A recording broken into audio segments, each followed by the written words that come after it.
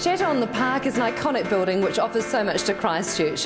While we enjoy what the Chateau has to offer, I'm going to catch up with CTV's very own Marianne Jackson. And I get to catch up with John Gadsby, an iconic Cantabrian, and talk about his past here at the Chateau.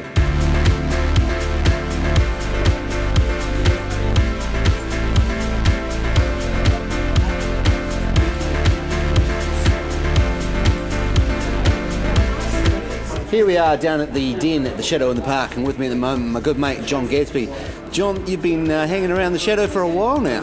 Oh yeah, yeah. Well, off and on, this was a, a really good place to be, you know. And uh, this little den of the Red Foxes, you know, was uh, it was a great place, sort of late at night and things like that. You met all sorts of people in here.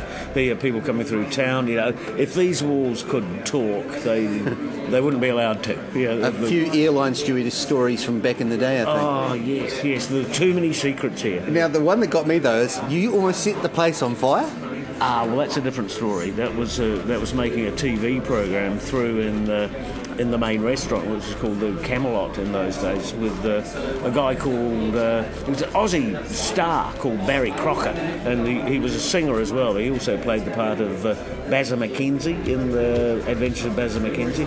Well, he was doing uh, live TV. Uh, McPhail and I were doing some sketches in his show. Uh, so audience made up of all these people dining in the in the, the main place in the Camelot restaurant, and we I was playing the part of a very incompetent waiter, maitre d. McPhail playing the part of a diner. I was trying to do a, a flambe and uh, uh, live on TV, and uh, we were using brandy and the uh, directors said, no, that's no use, it's no use, you can't see the flames.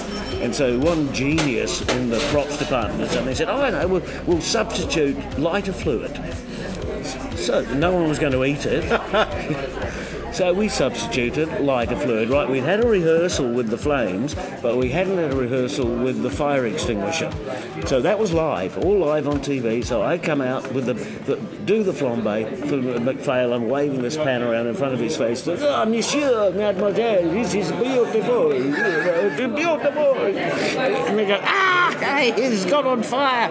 Pick up a fire extinguisher, and something made me just sort of turn before I blasted it. This, all the contents of the frying pan and everything just shot out all over the floor, set fire to the restaurant. With all the punters sitting around eating, the restaurant's on fire. I'm running around with a fire extinguisher trying to put it out. I think the people thought it was still part of the sketch. So he's almost burnt the place down. Yeah. We're doing a fun little skit tonight, not going anywhere near a prop set. I got to it before the earthquakes did. Good on you, mate. Well, listen, we're going to go and have some dinner and uh, see what's on on offer on the old menu here, and uh, we'll come back to you in a minute.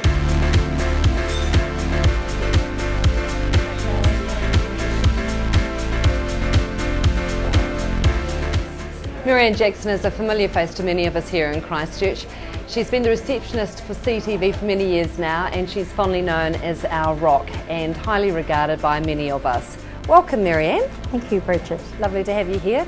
Uh, It's still got a great charm about the place, like coming in for a drink after work, um, lovely meal, and it's not just about people staying here, is it?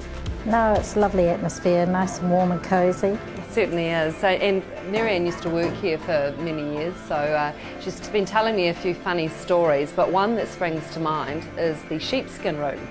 Yes, it was very famous for honeymooners and also for pre-ball drinks. They'd come in and book it for pre pre-ball drinks, and um, yes, all sorts happened. Oh my goodness. So, um, yes, I can imagine it would have been popular. I think John Gadsby said he knew about it too. Christchurch knew about it. Oh, it's so funny. Well, we're going to be catching up with John and Nick for a lovely dinner soon, so we will um, talk further about those funny stories. Lovely to have you with me, Marianne. Thank you.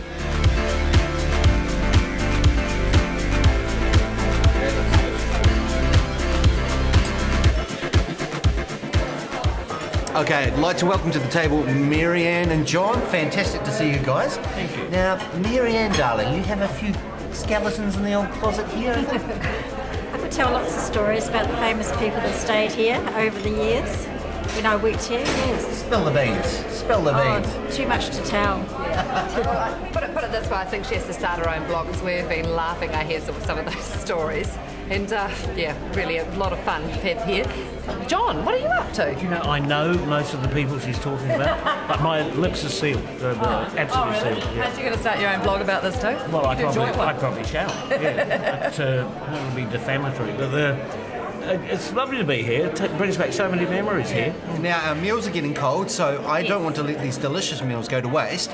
Big thank you very much to Marianne and John for coming down tonight. It's been great to see you. Absolutely fantastic. Don't forget, you can try out the Chateau on the Park seven days a week breakfast, lunch, or dinner. And don't forget about the Den, which is great for a drink after work and just still great atmosphere and love to sit by the fire and catch up with friends. All available to Christchurch Cantabrians. Come on down. Cheers, everybody. Chateau on the Park. Here's the Chateau on Lovely the Park. Lovely to see you all.